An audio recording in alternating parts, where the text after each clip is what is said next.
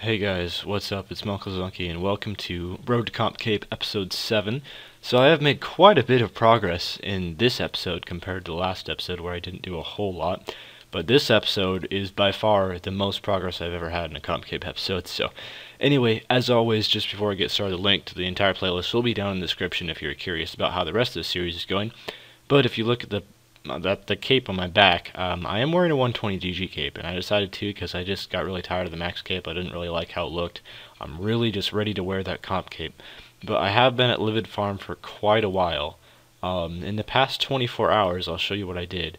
I went from about 330k produce to 577k produce um, in about 30 hours. It was a little more than 24, but still, pretty much ever since the bonus XP weekend ended, this is all I've been doing. So I unlocked three spells, which was, oh my goodness, this was rough. I gotta tell you. Um, it has been bearable, though. I have somehow got myself to get through it. So I unlocked Spiritualized Food, Make Leather, and last one here, uh, Disruption Shield. So three spells done. So I now have seven total unlocked, um, and four more to go. And this one, the ninth one, Teleport to Trollheim, I'm kind of looking forward to that one because that one actually teleports you straight to the farming patch on Trollheim, which I do a lot of farming runs, so that's going to be pretty useful. Um, but yeah, I have four more to go, so that's like another 20 hours, 18 hours, something like that. So I'm not looking forward to that. I guess it is 18 hours because between the 10th spell and the 11th spell, that's really short distance. But normally it's like 5 hours between spells, but Teleport Group to Trollheim and Borrowed Power, that's like 3 hours between those. So yeah, 18 hours total. More of Livid Farm that I gotta do.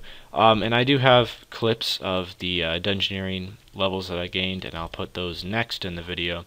Um, and I will show you guys, uh, I guess, the full list and everything I need to go still. But one thing I did want to show you is uh, this is Rune Tracker which I is a site I've been really getting into lately. Um, I like the Rune Track site better, but this is Rune Tracker. There's a difference.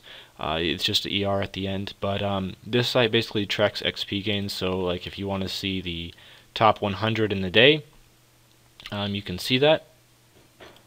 But my little accomplishment here was I got number one in the day for farming. So this is in the past 24 hours. Um, over one mil farming, which is pretty crazy. Uh, I did warbands last night, and I got like two farming tents, and then I did a farm run. I've done a couple herb runs, um, so that got me like oh, 350k XP or so, 400k, something like that, about 400k XP um, in farming, and then I got like 600k from Livid Farm because that's how much Livid farming I've been doing. And I had bonus XP in farming as well, and I also still have refer a friend, so I'm getting 10% bonus um, so that's how I got that much XP because I had like 50k bonus farming XP. So um, otherwise, there is no way I would have gotten this much because Livid Farm is not that fast per hour. But yeah, I had a lot of bonus XP, so that helped. So I actually outgained Drumgun, who is like the biggest no lifer in this game. So that's uh that's not easy to do. No lifing that guy. Um, out no lifing that guy, I should say. But anyway, uh, I'm going to uh, show you guys my Dungeoneering clips, and then uh, I'll show you what I have left to do for the comp cape, which is not a whole lot. Alright, so as promised, I did record um, all my Dungeoneering clips. So I did have a couple friends who really helped me out a lot. Uh, the guy was named RWC Vulpine, and he's pretty good at Dungeoneering. So basically, I dunged with him and uh, a couple guys he knew a lot, and um, that got me about roughly half of the XP uh, between 117 and 120 because I was just past I was pretty close to 118 when I started during the bonus XP weekend, but um, yeah, I got uh, a lot of XP, and mostly with him, but also with some randoms on World 77.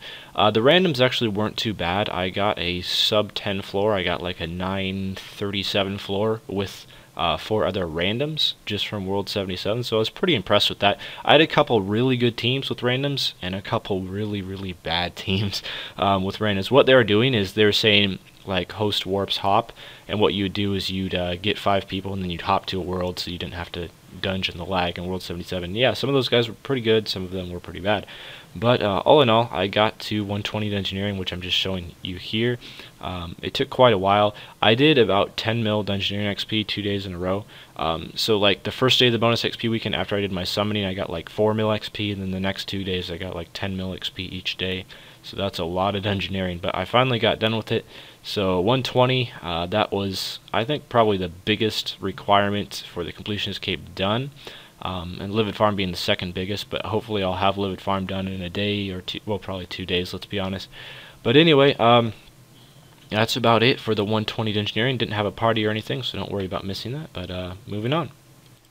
Okay, so really quick before we end off the video, here is the list for the comp capes. Not a whole lot has changed except the total level, which went from uh, 9592 last episode to 952595. I meant 2592 and 2595, whatever. And then, of course, the three spells Spiritualized Food, Make Leather, and Disruption Shield. So I, all I have left is four Livid Farm spells, Bones to Peaches, which I've heard does not take too long, Tentalocious Hunts, and the Dork and Bork tasks. And uh, that's it. So I'm planning on maybe getting Comp Cape like within three days, something like that. I'm not sure. It depends on how willing I am to grind out Livid Farm. Uh, we'll see if I can keep up the rate that I've been going. We're getting like three spells in a day, which is insane. Um, or if I eventually get burnt out and quit and you know go back to Slay or something. So I'm not sure. But anyway, uh, I will plan on having some sort of event for my comp cape. Not a big one, but just you know you can come see me get it if you'd like. Um, but I will update you on when that happens. So the next episode of the Road to Comp Cape will be uh, me showing everything else. It will be like the last one, me telling um, what time I'm planning on getting my Comp Cape. So stay tuned for that. But anyway, thanks for watching, uh, and I'll see you guys again soon. Farewell.